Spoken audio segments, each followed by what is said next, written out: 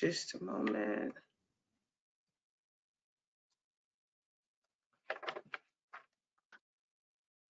Okay, hello everyone. Welcome to the UFS webinar. The webinar is hosted by the NWS OSTI. The goal of this webinar series is to enhance communication and share advancements in all aspects of the UFS in both research and operational settings.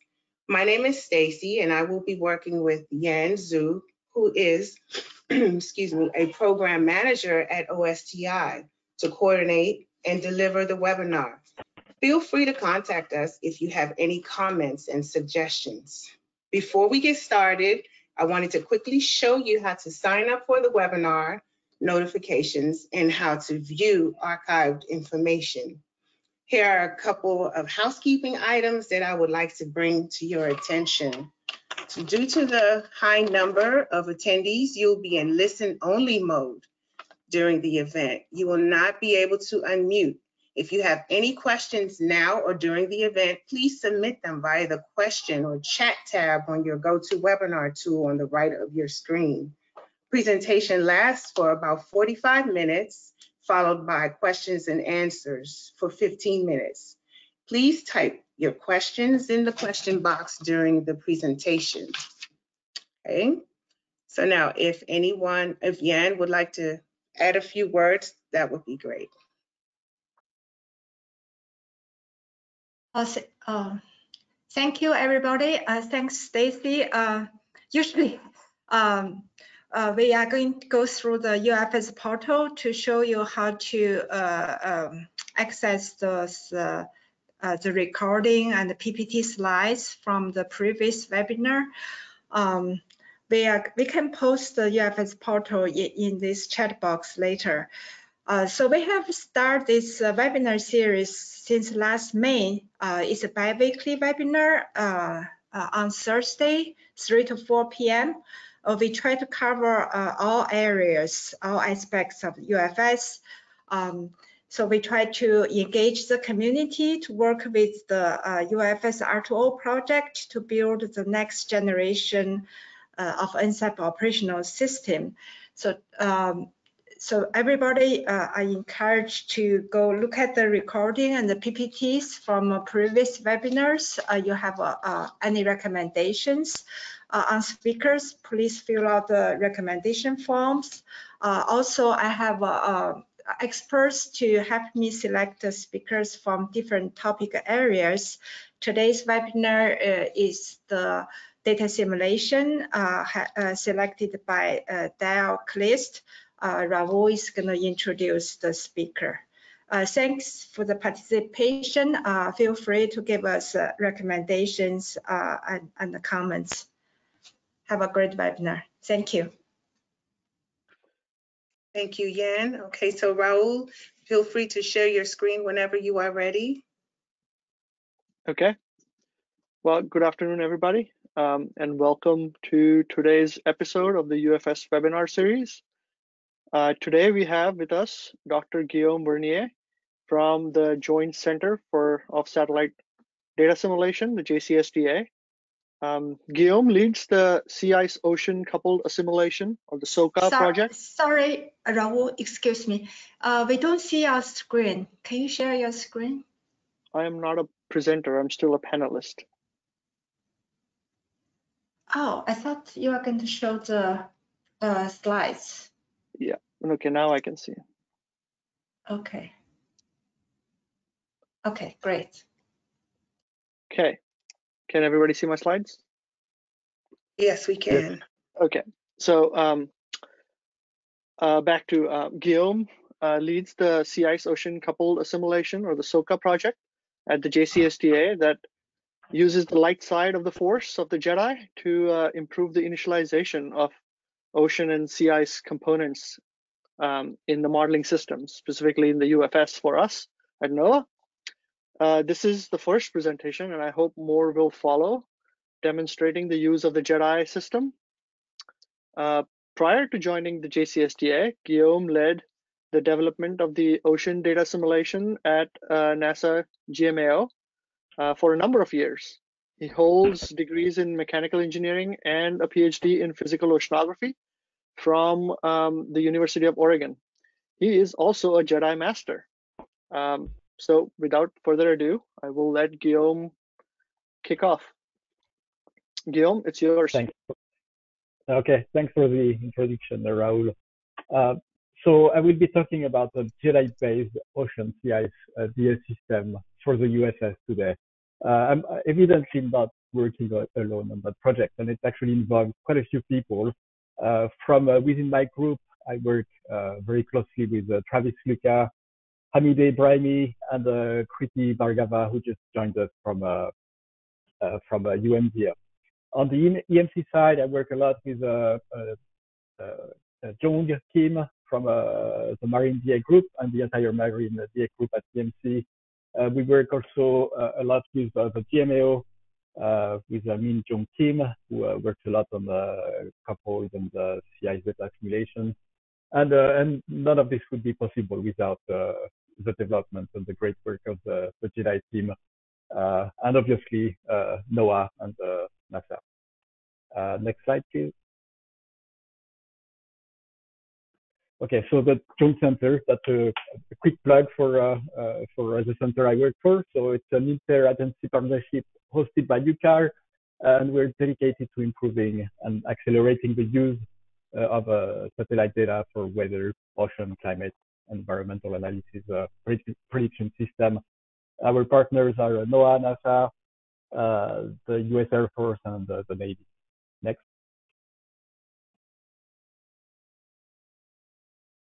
So the JCSDA has uh, three uh, large different projects. Uh, one is about observations, another one about uh, algorithms and infrastructure.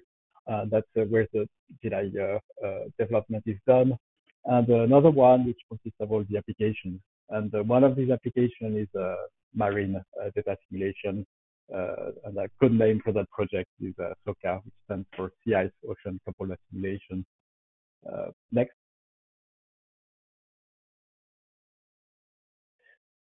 All right, so SOCA, what is it? So we uh, uh, we work on the marine data assimilation, mainly for the ocean uh, sea ice. We do a little bit of a coupled data assimilation as well all of our development is built uh, within the Jedi system. Uh, and so, as I said, we do work on a couple uh, some, and that's with the UFS and the NASA Next. So the Jedi, the goals of the Jedi are to be the next generation unified DA system uh, to increase uh, transitions for uh, R2, O2R, uh, and uh, increase the uh, science productivity and code performance. And that's achieved by having a modular, modular and flexible code, mutualize the model agnostic components across applications, models, and grids, observations, and all that in the hope of, of a collective reduction of entropy, code entropy. Next.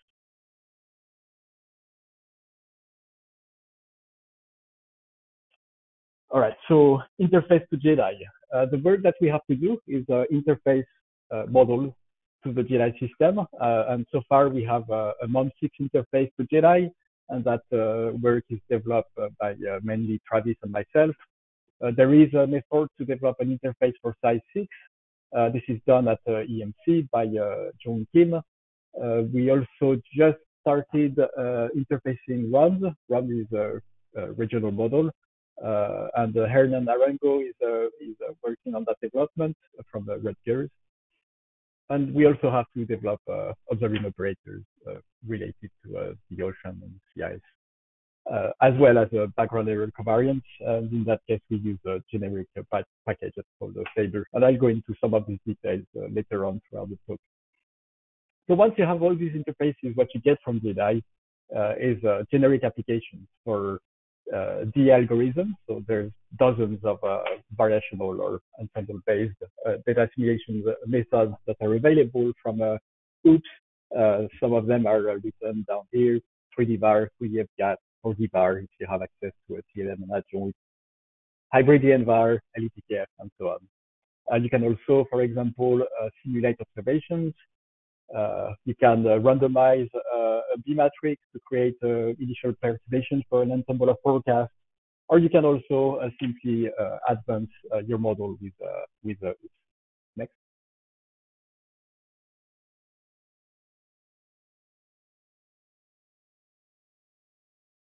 Okay, so uh, JEDI, what does it consist of? So on the left, you're seeing uh, the major repositories that are, we are using from uh, the JCSDA. Uh, that uh, dotted box on the left consists of that JEDI system. So in terms of observations repository, we have uh, UFO, which stands for Unified Forward Operator, IODA for the OPS data database, and we also have radiative transfer models, CRTM. in terms of algorithm and infrastructure, uh, we can run uh, uh, in containers. OOPS is the generic where all the generic DA happens. And we also have a generic matrix repository, called Saber. On the right of that slide, you're seeing all the external repositories that we might want to be using to interface models. So in that case, for example, for the marine DA, uh, we have uh, MOM6 and FMS from uh, NOAA GFDL. Uh, we also use uh, the deep sea water. Uh, and so to uh, to interface uh, this uh, the, that JEDI system to the model, we have to develop this model interface, and in that case, it will be an interface for MOM6. So we cannot sit in in between the JEDI system and the the, the modeling framework. Next.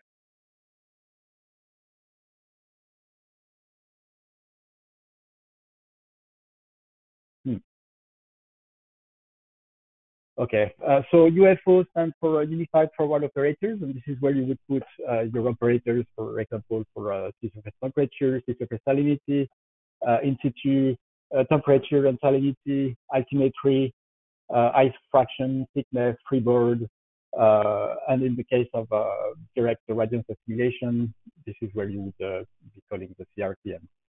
Next.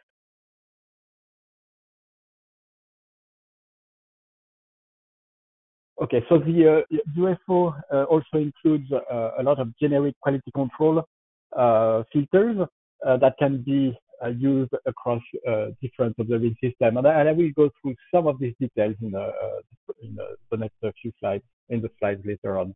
And there is absolutely no coding required. Everything is just configuring a file to call these filters. Next.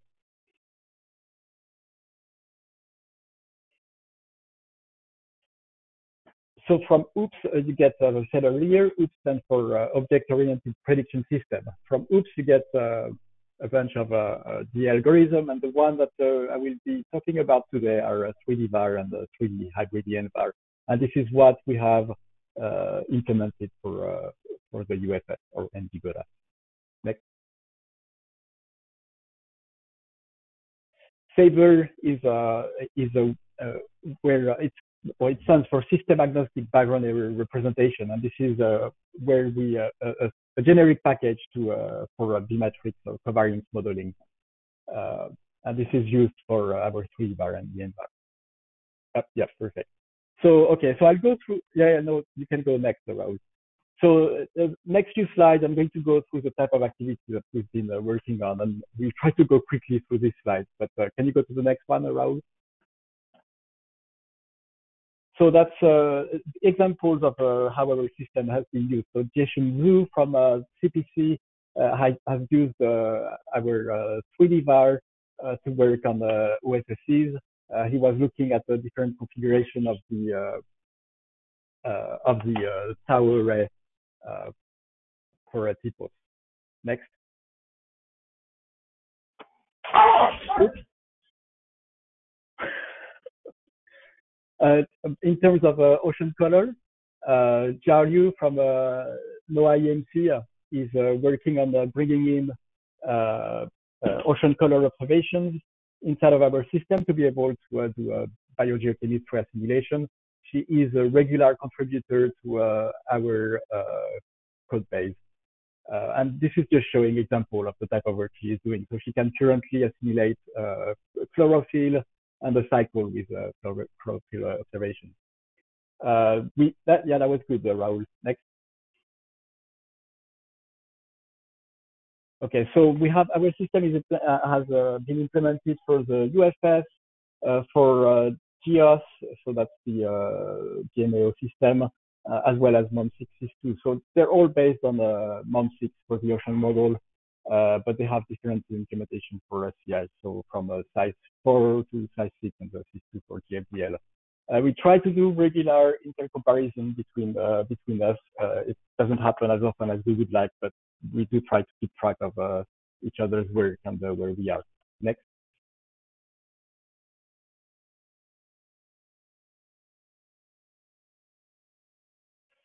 There is also an effort at the, the GMAO to work on a sea ice freeboard assimilation. So this is uh, using a Cryosat 2 freeboard observations. These are level 2 products uh, and to uh, ingest that into the CI's uh, model to constrain the CI's thickness. that work is in progress. It's probably not going to be used for the next the, the, the, soon to come implementation for the GODAS, but this is work that is going to be available for uh, for EMC and CPC. So where it's being done uh, at the GMAO that will uh, be used at the EMC and CPC. Next.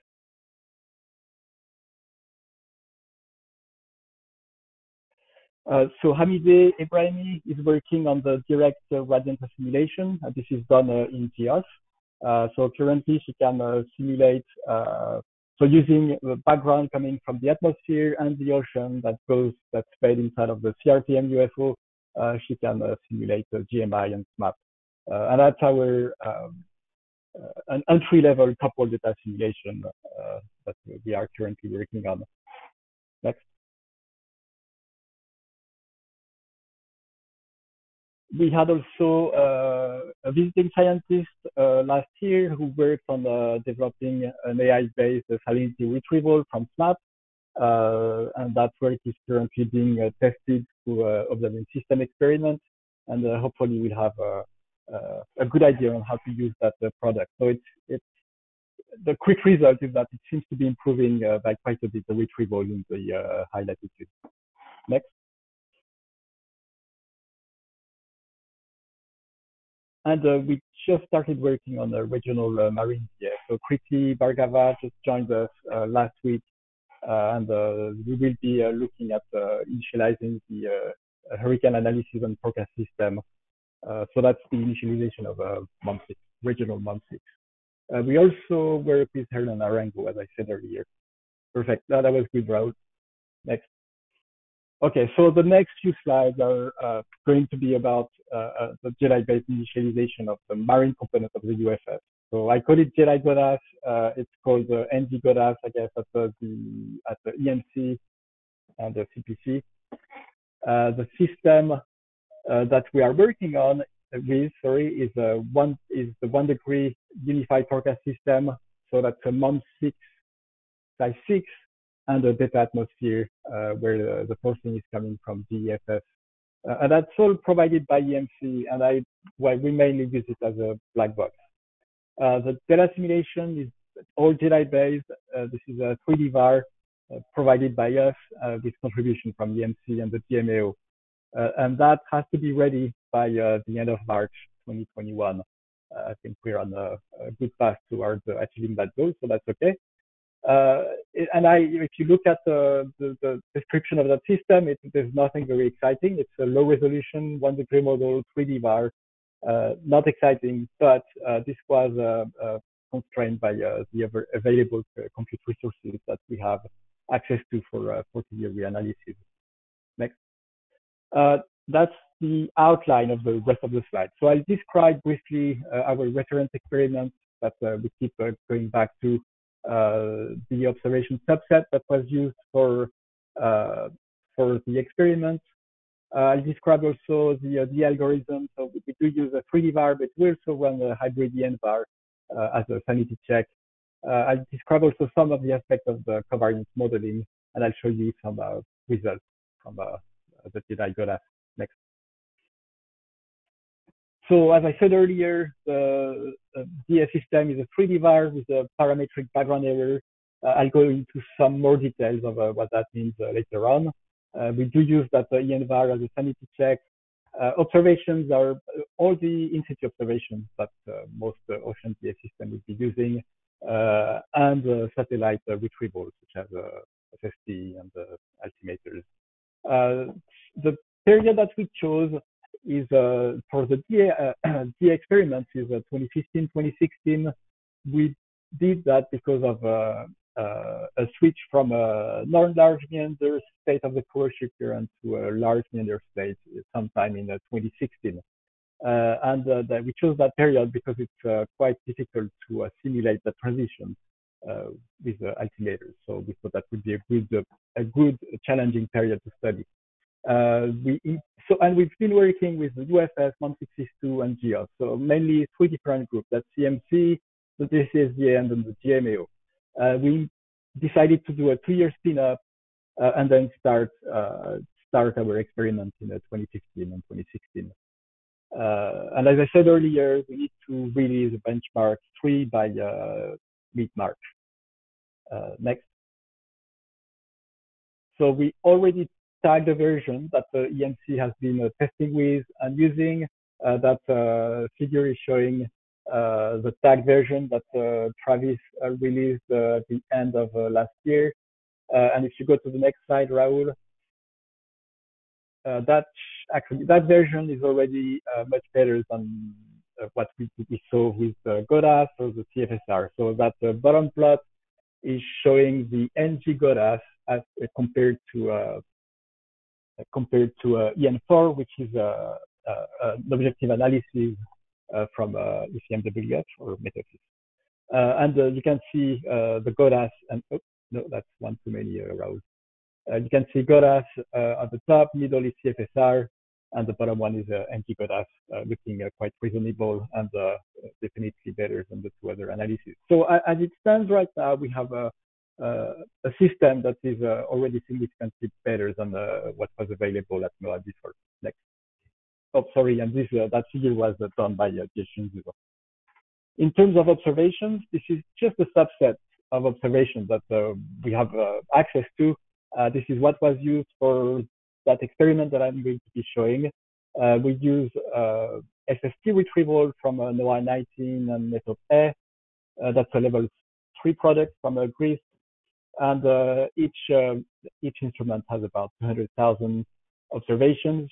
96% uh, of which approximately uh, are used uh, uh, at each uh, DA cycle. So again, I will DA window is 24 hours.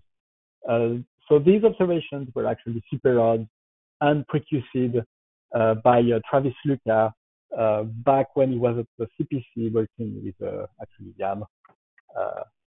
So that's a pretty simple product, and that's why you're seeing a very high number of uh, used observations. In terms of ice concentration, we're using a product that was developed at EMC by uh, Robert Grumbine. It's a level two product, and for the period that we're looking at, uh, we're using uh, SSMI-S on the F18. Uh, the observation count for 24 hours is about uh, 3.7 million OBS, and we only used about 16 to 20% of those uh, because of all the filtering that needs to be done. Uh, for sea ice thickness, and I will go into some of the details of the issues that we are having with the UFS model itself, uh, but we do assimilate uh, thickness uh, from a product called GIOMAS, which is coming from uh, Washington State. It's a level four product, and in fact, it's actually a, a CI3 analysis. It's not a great idea, but it's something that we've had to do. Uh, and I'll explain why in the next slide. so we also assimilate all the altimeters available for that period. So Jason 2, Cryosat 2, Sentinel 3A, uh, and these are coming from uh, NESDIS RAD, and they are uh, level 2 products. Uh, so not SSH anomalies, but uh, absolute dynamic topography. Uh, and in terms of ops count, it's about 50,000, 40 to 50,000 observations per altimeters, and we use around 70% of those. And finally, all the in-situ observations available. So that's coming from at the World Ocean database. So Argo, CTD, XBT, and all the uh, moorings, tropical moorings. That's about 50,000 OBS per cycle, and that's uh, quite a few less than what would be. that's fine, you can see there. Uh, and so we do assimilate about 85 to 90, 99% of these observations. Uh, and that's a high number because again, these were super and produced by uh, Travis Sluka back when he was at CPCL. Uh, so in total, it's about 1.1 to 1.3 million observations per 24-hour uh, cycle. I'm not quite sure how that compares to a CFSR or the old GODAS, but I'm pretty sure it's probably an, order, at least an order of uh, magnitude more than uh, what was uh, done. Next.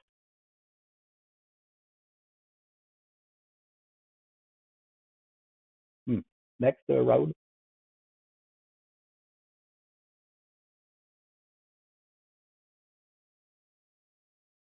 Ah. Oh, okay. Thanks.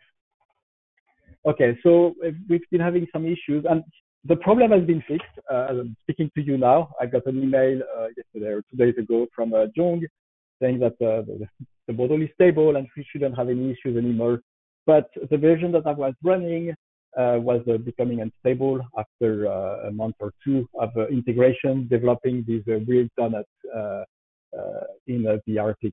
so that's that's a very bad plot on the top is showing the Arctic sea ice thickness uh, and that weird shape.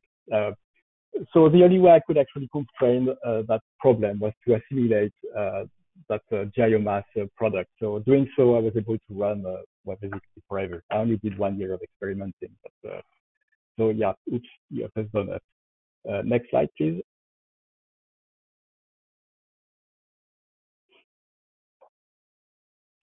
Okay, so in terms of uh, uh, coverage of uh, observations, uh, the left two panels are showing NOAA 19 and method A.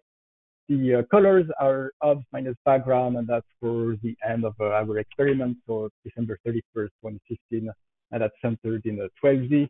And so you can see these two instruments are AVHRR, so the the, uh, the coverage looks very similar. Um, we do need to uh, include also microwave uh, retrievals at least to have a better coverage for SST. But this is what it would uh, look like per 24-hour cycle. And on the right, you're seeing a 24-hour cycle of all the altimeters that we have available. So Jason 2, Cryosat 2, Sentinel 3A, color showing up minus background. And in that case, it's the beginning of, uh, of the window. And the black dots are showing uh, what has been filtered out. Next.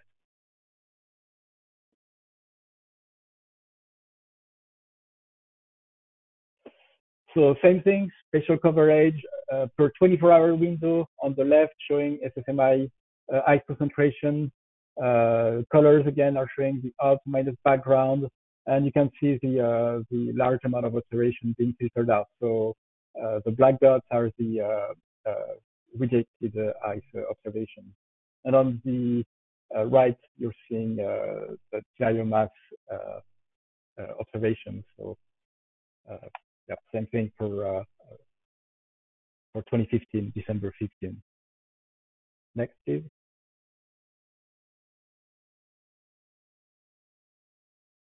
Okay, so a quick uh, quick word on uh, quality control uh, with uh, the uh, the JEDI system. for the most part, there is absolutely no coding to, to do. All the filters actually already exist in inside of UFO. Uh, and they can be used across uh, observing systems. So the left, uh, the left panel is showing the a snippet of a, of a configuration file that we use for the altimeter observation. And, and so all of these filters that are described in that file are, can be used for other observation sites. So this is showing uh, landmass filter. We can also simply reject uh, ADT, uh, ADT being uh, absolute dynamic topography observations uh, in places where surface temperature is less than 5 degrees Celsius, for example. we can reject ADT observations that are too far from the, the background. we can reject observations that are outside of some specific bounds as a sanity check. We can also assign uh, observation areas for the observation type that we're looking at. So in that case, uh, we're assigning uh, area uh, representation that is coming from the model and that's used as a, an observer in the, in the observation. And we, we can also reject uh, observations in specific places where we know we have uh, issues. In our case, it's issues in terms of uh, how to assimilate observation in these very specific specific areas. So the color in the plot on the on the right are showing the uh, actual observer used, uh, and the black dots are the places where uh, where observations have been rejected. Next, please.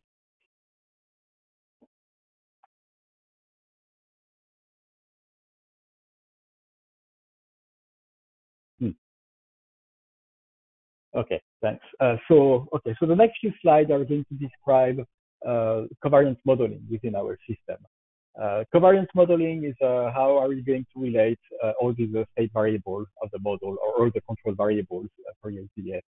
Uh, so that B matrix B on the left of that equation is actually decomposed into a, a sequence of, of linear operators. I'm, I'm going to go through each of them and describe what they are. So the first one that you see circled in blue here is actually a, a correlation, horizontal correlation operator that we get from from BUMP, uh, which stands for B-matrix on unstructured mesh package. This is developed by uh, Benjamin Ménétrier. And the figures on the left and right are showing impulse response of a CH2 Dirac delta function in different places in the ocean. And what BUMP does is, uh, is very similar to what you would observe from a, diffusion operator, for example, but at a fraction of the cost. So it's uh, computationally very efficient it takes a bit of time to initialize, but once initialized, uh, it's it's a very efficient way to uh, uh, to create horizontal correlations for the ocean. next.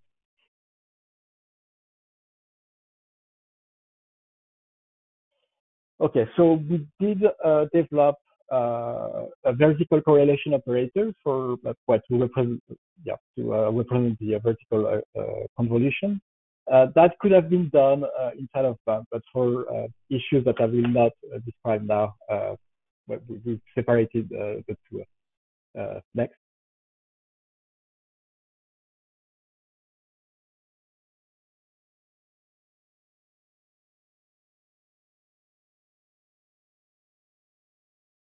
Okay, so our background error is parametric uh, in the sense that we derive it from the background. In that case here, it's not coming from an ensemble.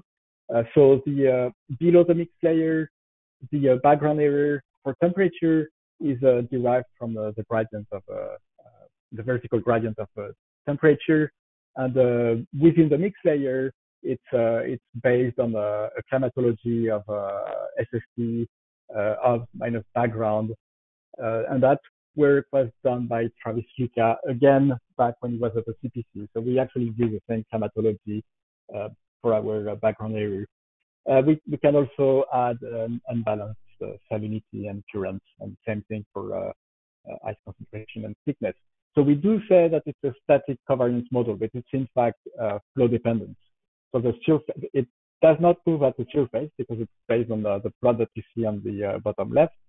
Uh, but it does uh, change from uh, one cycle to the next, uh, depending on the, the gradient uh, of the temperature in the background. So static covariance, but flow dependent. Next. Okay, so because that uh, that the background error is noisy, we do apply a horizontal filter to make the field a little smoother. Next. And finally, to uh, create uh, cross covariances between these variables, uh, we have a, a very basic balance operators, which kind of looks like the one developed by Weaver et al. 2006.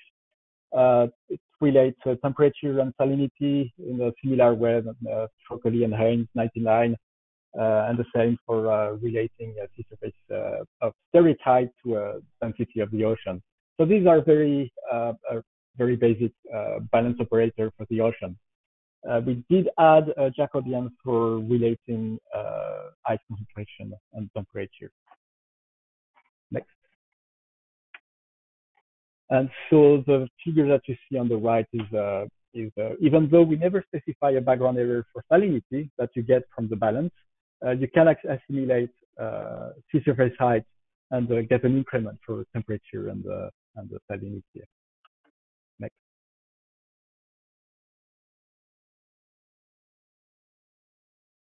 Okay, so in terms of a hybrid covariance model, so you can, uh, OOPS will allow you to uh, mix uh, uh your static uh, B with an ensemble uh, B.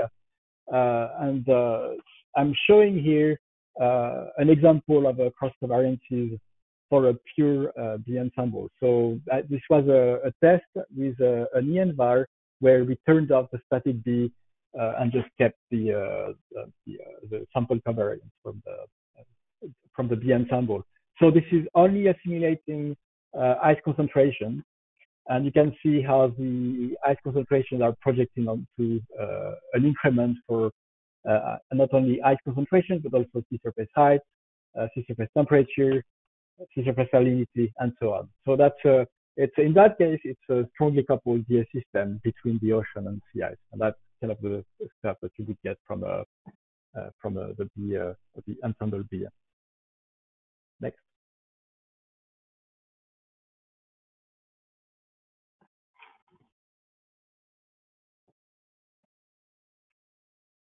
Okay, so we also have uh, an hybrid ENVAR. I will not go into the detail of the workflow uh, of that uh, hybrid ENVAR. It's supposed to look like uh, what was done for the GSI. Uh, the point of that workflow that you see on the left is uh, just to say that we have all the components that we need to create that system and we regularly use it. So from creating initial perturbation using a randomization of our, our static B to having access to a JEDI LETK for a JEDI ENVAR.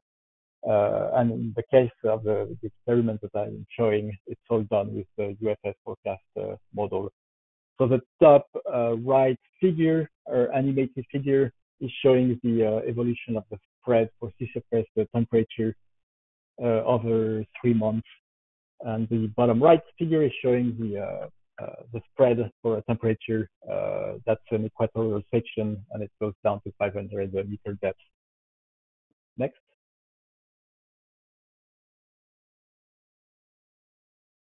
In terms of uh, results, so these are showing global mean absolute error of uh, OBS minus background for SST on the left and absolute dynamic topography on the right.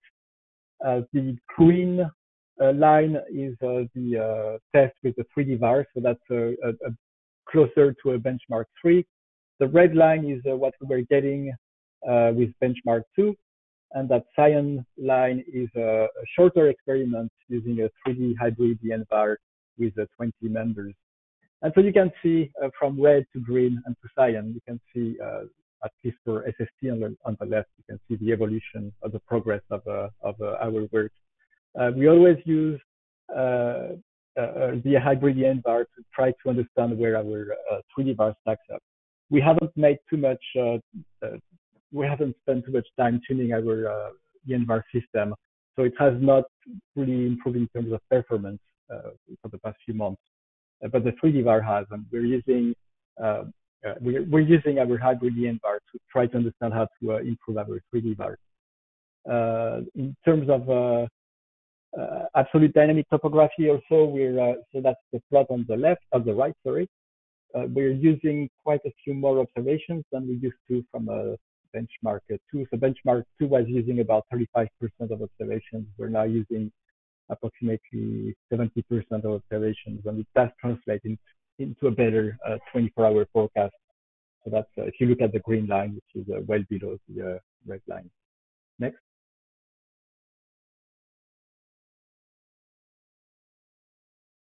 Okay, so that's the same thing. So global mean absolute error uh, of uh, OMBs for in situ uh, temperature and salinity. There, there's not much to say here. it's it, these are global plots, so it's it's hard to draw conclusions. But uh, this tool looks fairly reasonable. It's hard to see any uh, type of improvement, if any, uh, between between the runs. next.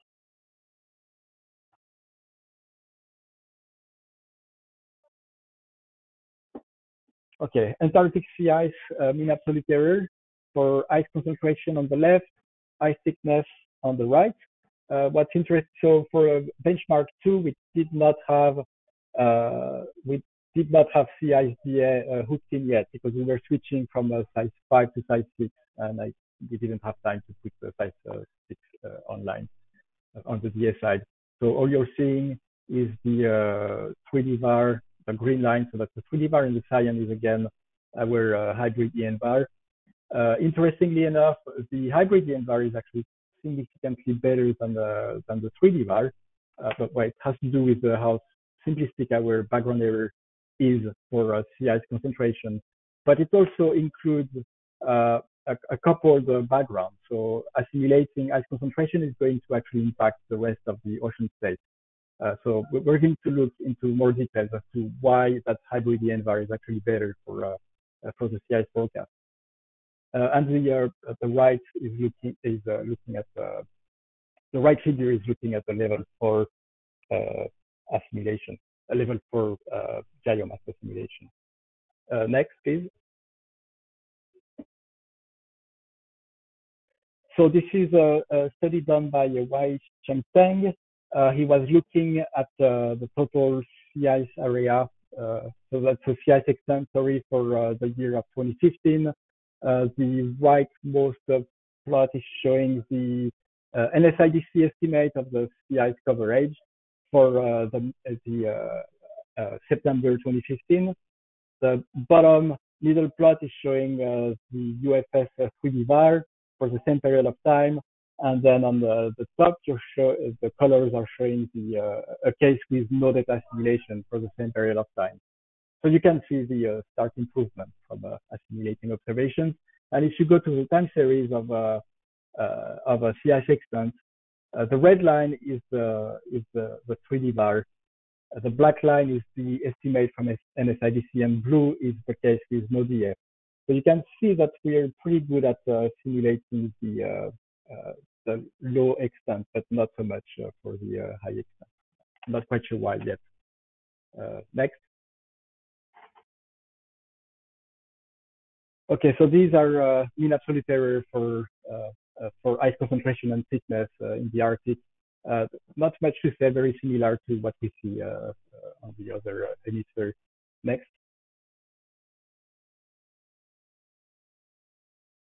Okay, so uh, in terms of sea ice thickness, uh, uh, so the top panels are showing the uh, uh, background for from the UFS analysis, and the bottom panels are sh showing estimates of sea ice uh, thickness from Cryosat 2. So that's a product from ESA, and these are monthly mean. So I'm comparing the monthly mean to a snapshot in the middle of the month for the UFS. So the the, uh, the, the two figures on the on the most uh, left uh, are showing uh, January 2015, and uh, for the UFS, it, it looks like kind of what we start from in terms of sea ice thickness. So you, you can see it's, it's pretty far off what the Cryosat 2 looks like.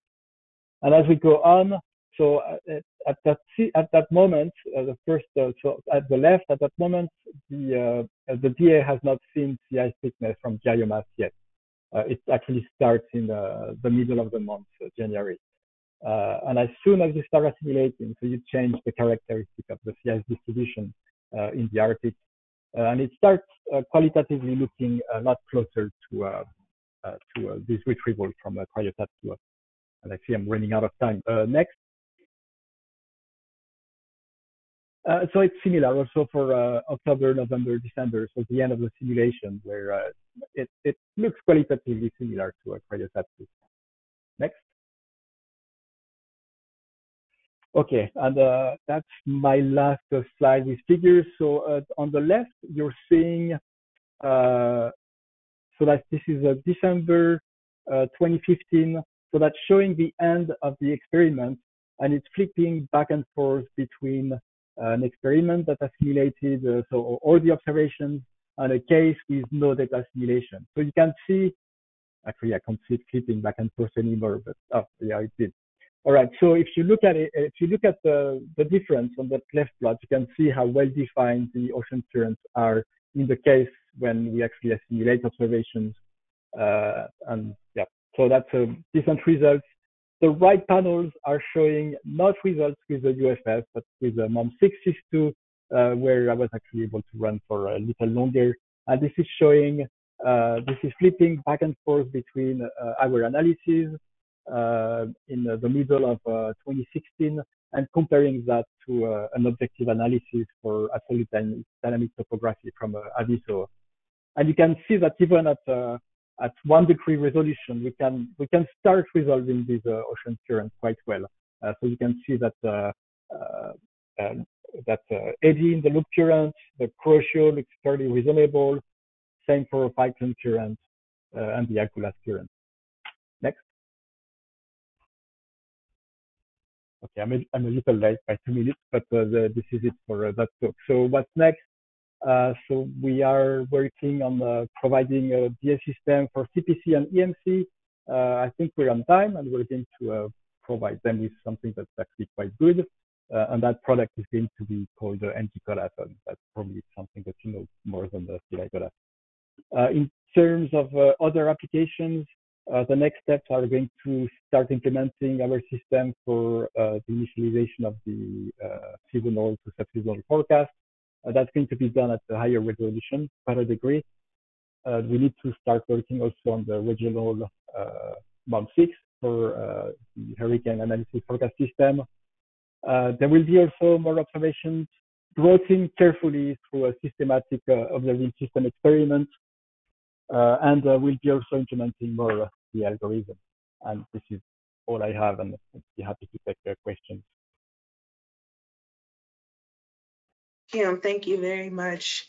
I don't see any questions in the um, the panel, but if anyone has any questions, please feel free to put them in and we can address them.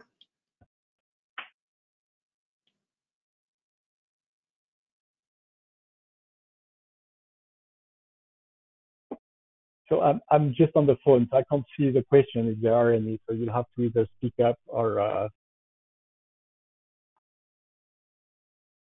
Yes, um, nobody has uh, asked any questions. I guess you did that great at explaining. so I'm not seeing any questions. But if anyone has anything, um, okay, I do have one question coming up. Are there any plans to pursue SCDA? To pursue what? Sorry, I couldn't hear you. Are there any plans to pursue SCDA?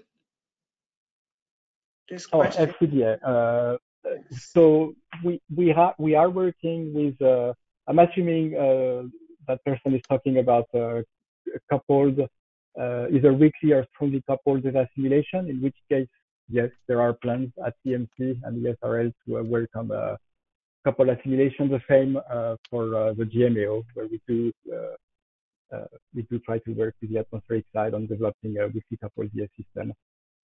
So assuming that I understood the question, yes. Okay, so there is another um, question.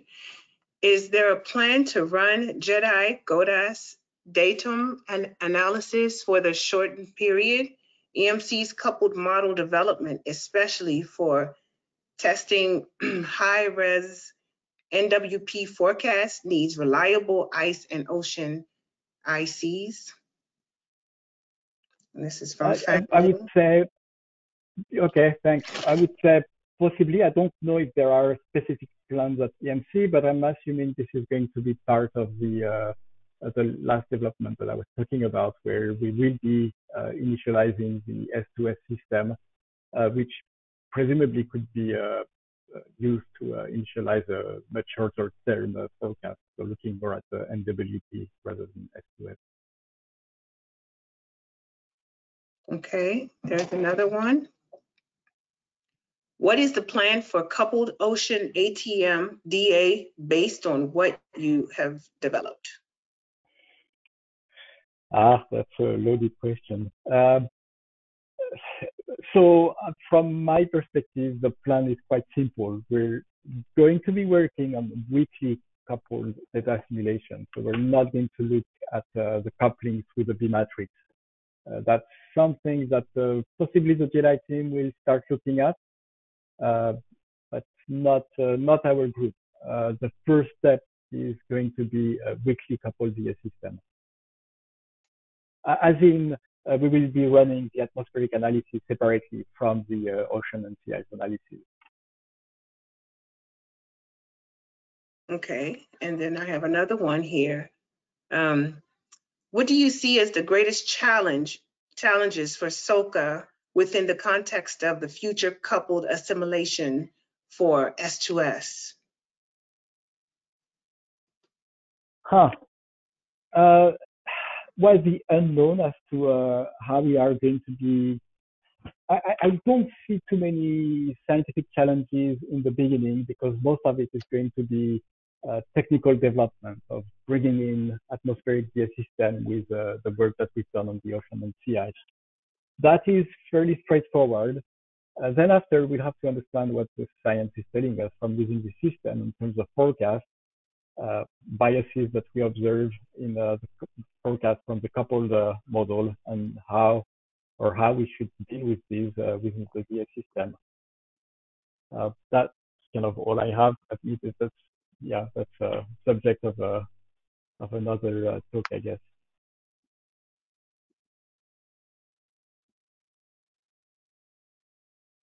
Okay, so I have another one here. Do you have to interpolate um, MOM6 to Z coordinates to implement the background covariance? It looks like the covariance is separable into, uh, what is that, vertical and vertical and horizontal?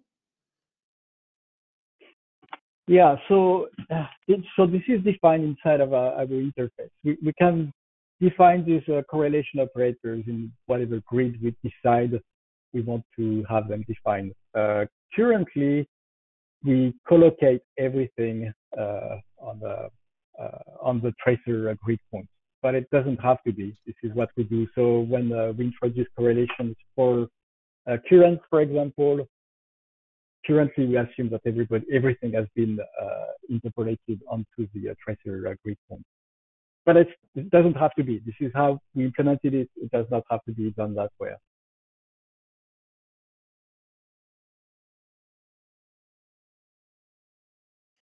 Okay, I don't, and that is it. I don't have any other questions from anyone. And if anyone else has any questions, please, please feel free to email. Um, We'll get the questions over to um, you, Guillaume. Okay. Well, thanks for uh, having me. Uh, and thanks for your time.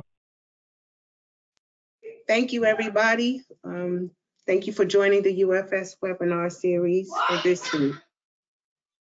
We will talk to you um, in two weeks. We have another one. Thanks again. Thank you, Kim. Thank you, Raul. Thank you. Okay, Thanks, Raul. Yeah. bye-bye.